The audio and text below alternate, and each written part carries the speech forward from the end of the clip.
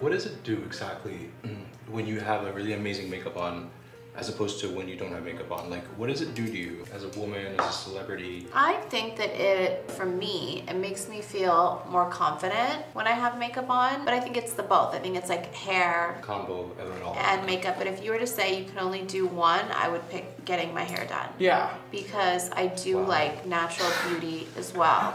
Well, years ago it would have been makeup A hands, hundred hands down, percent. but a now hundred it's percent. hair. I think just like when my hair is done, I feel like I can have a nat more natural face. Mm-hmm. I don't know. I just think that when my makeup is done, like really good, you just like feel yourself. You know what I mean? You really just, do. You really get into it. You just are in such a good mood. It just enhances what you have. Which is the point of makeup. Yeah.